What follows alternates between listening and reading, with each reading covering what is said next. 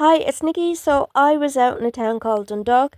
I had an appointment out there, so I checked out a bit of the town and did a bit of shopping in Penneys as usual. So I got the bus out there after my drum class, and that's just me playing the drums. I read this ballet book on the bus. My bookmark was Victor from Yuri on Ice. And look, the book is dedicated to me. I had a nice eclair treat for myself at the bus station. Are we? I hear you.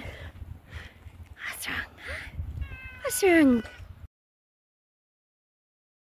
This was just outside the Marshes shopping centre. So that was just kind of the walk up to it. There's a Dunnes Stores there in the car park. Very nice building it was in. So I had to video these cool inflatables on the way into Eurogiant. It was definitely a better Eurogiant than the one up in Cavan beside me. So there's cool. I went into Eason's as well. I didn't buy any, anything in there or Eurogiant. Then I met a werewolf outside of Hallmark, as you do. And off I went into Penneys, of course. First thing I found was the Hello Kitty section. So that was me happy. So much choice it's hard not to just buy everything. Well, not that I could afford everything. And Mickey Mouse, I just really like the building. Like, look at that, it's lovely. Hopefully someday I'll come back and get some proper pictures. That's deadly, so it is. That's a Dublin saying. Deadly means good or cool. I like these Halloween signs around the town as well. That's the Long Walk Shopping Centre where I got the bus. So here is my Penneys haul cutest Hello Kitty slippers. I was really sad because they didn't have them in my size, but then I found them somewhere else in the shop. I'm gonna bring those up to my parents' house. they were like, what? Kuromi hoodie. What more need I say? I had to have Hello Kitty and Kuromi hair clips and more Hello Kitty. So I got this Hello Kitty hat. Now I had to try it on and it looked ridiculous on, but at that point I was already wearing it, so I was like, I can't put it back now. so it's like a bucket hat thing.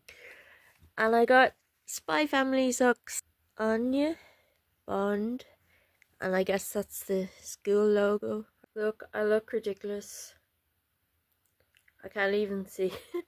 but it'd be handy for when my hair needs washing, which it does always. I can like hide it in there. I don't care, I like it. Cat bobbin.